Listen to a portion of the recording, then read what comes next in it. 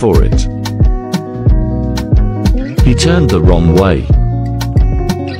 But I still continued dancing.